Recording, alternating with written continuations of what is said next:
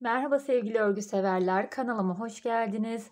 Bu videomda sizlerle misinalı şişle ördüğünüz örgülerde fare dişi modeli veya süt dişi modelini nasıl kurarsınız onu göstereceğim arkadaşlar. Şöyle merak edenler için şu modelin de anlatımını yapayım. Yakadan başladığım bir e, kazak olacak arkadaşlar. Instagram sayfamda yakadan başlama sayılarını bulabilirsiniz. 3,5 numara şiş örgünüzde başlayıp veya mesela 3 ile yakayı başlayıp beden kısmında yarım numara arttırarak ilerliyorsunuz. Yaka kısmınız çok açık durmasın diye. Ee, şöyle diyeyim orada yakadan başlama yelek sayıları var arkadaşlar. Ön pat sayısını düşerek kazak olarak örebilirsiniz onlara. Evet şimdi şöyle göstereyim. Kullandığım iplik Ören Bayan Kitty Baby arkadaşlar. 3,5 numara şiş kullanımı, kullanımına uygun. Ben 3,5-4 kullandım ama hani 3,5'la yakadan başlayıp daha sonra bu beden kısmında 4 numaraya geçebilirsiniz siz de. Gene farklı markalarda kullanabilirsiniz. Belli bir sayıya kadar arttırdıkta orada verilen sayıları takip ettiğinizde mesela size diyor ki 20 sayı arttırdınız. 20 yani 20 sıra bu deliklerden oluştu. Daha sonradan bedeninizi ayırıyorsunuz kolları ve bedeni örmeye başlıyorsunuz. Misinalı şişinizle gene. Komple bakın eksiz bir kazak oluyor. Sadece kollarında da gene ince bir misina kullanabilirsiniz, kullanabilirsiniz veya tekrar normal şişle de örebilirsiniz ama bedende kesinlikle bir ek, bir dikiş yok arkadaşlar. Evet şimdi misinalı şişle nasıl fare dişi modeli veya süt dişi modelini nasıl kuruyorum onu göstereceğim. Öncelikle bedeni ayırdım demiştim. Bir sıra veya iki sıra düz ördükten sonra düz örgü misinalı şişlerde arka veya öne sadece örgünün ön yüzünden örüyoruz arkadaşlar. O yüzden Hani bir çevirme işlemi yapmadan sadece düz yönünden devam ediyorum. Bakın şuradan başlangıç yerinizi belirleyin. Her zaman burada tekrar farklı modele geçeceğinizi bilin arkadaşlar. Oraya bir işaretleyici koyabilirsiniz. Ben şu kol ayracımdan anlıyorum o sıraya geldiğimi. Zaten burada da çok hafif bir kayma oluyor yan kısımda. Belli belirsiz. Oradan anlıyorsunuz. Evet şimdi modeli kurarken dediğim gibi alt kısımda birkaç sıra ördükten sonra modelimi kurmaya geçtim.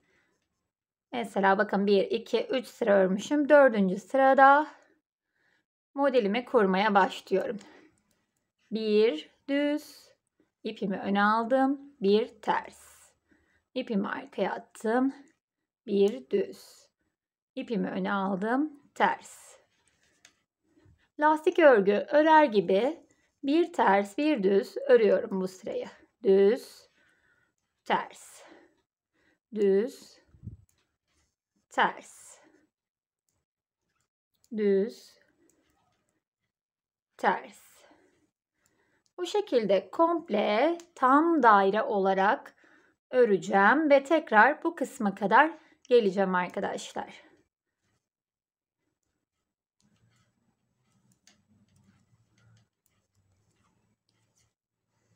Instagram sayfamı takip etmeyenleriniz varsa videonun açıklama kısmında Instagram sayfalarımın linkleri mev- mevcut arkadaşlar. Oradan da takibe alabilirsiniz. Gerekli bilgileri oradan, gerekli sayılara oradan ulaşabilirsiniz.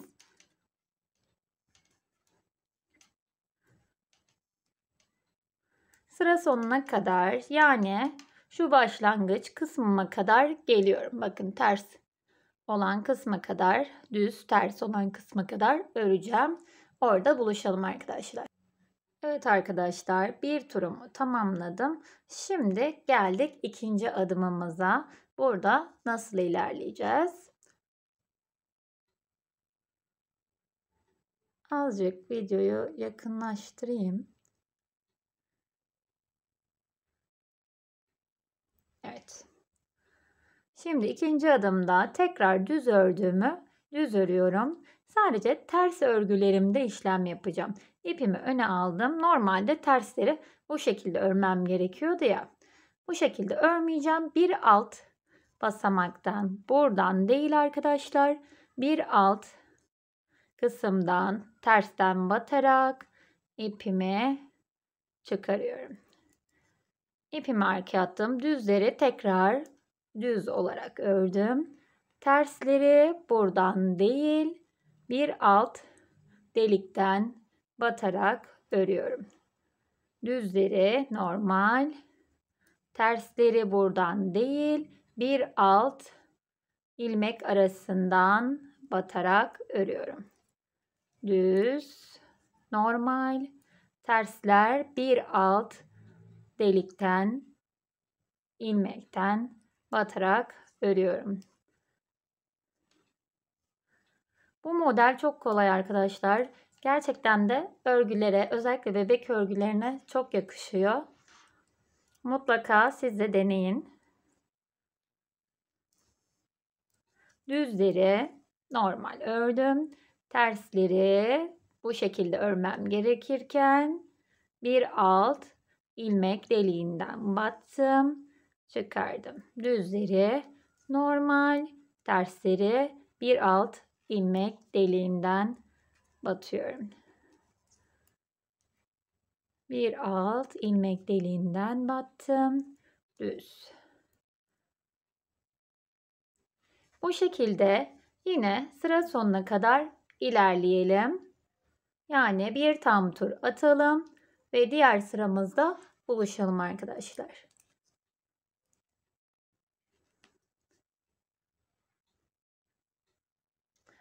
Evet arkadaşlar bu sıramı da tamamladım. Şimdi diğer sıramızda ters ve düz işlem yapmadan sadece ipimiz arkada olacak şekilde bütün örgülerimize örgülerimizi, ilmeklerimizi düz olarak düz olarak örüyoruz. İpimiz arkada. Artık modelimiz oluştu.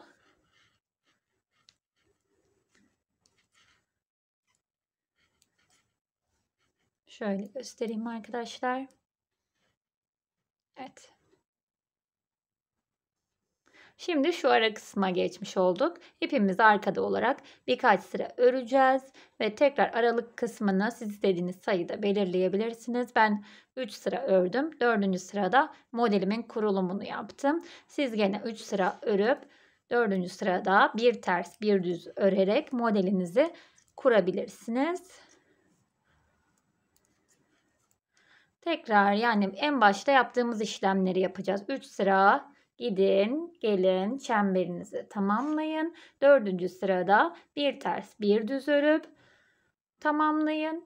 Beşinci sırada tekrar düzleri düz, tersleri bir alt ilmeğin alt bir alt ilmekten alarak örüyorsunuz. Daha sonra sadece bu işlemler gerçekten inanılmaz kolay bir model arkadaşlar. Hemen siz de örgülerinizde kullanmaya başlayın.